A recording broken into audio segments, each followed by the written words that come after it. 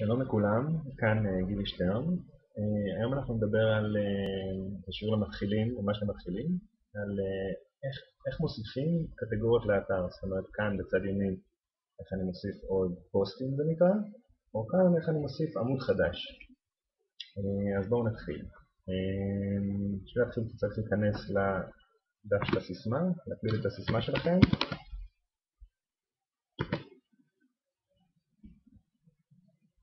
ועכשיו אנחנו בלוח הבקרה, כפי שאתם שמים לב יש פה קטגוריות, שתי קטגוריות חשובות, פוסטים ועמודים. אז הפוסטים זה בעצם מה שפה בצד ימין, ואלו העמודים, שוב. אז בואו נתחיל ונוסיף פוסט חדש.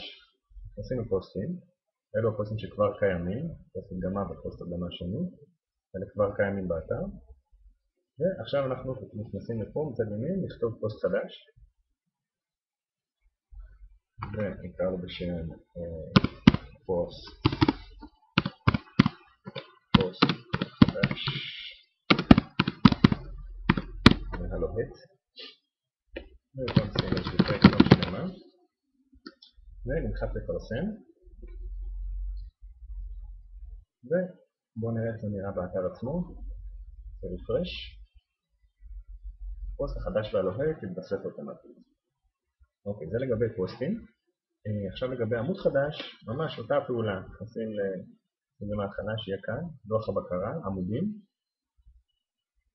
אלו עמודים שקיימים, ליצור עמוד חדש, ונקרא לו עמוד האש,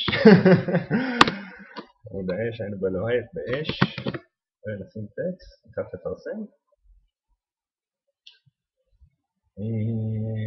ונעשה פה רפרש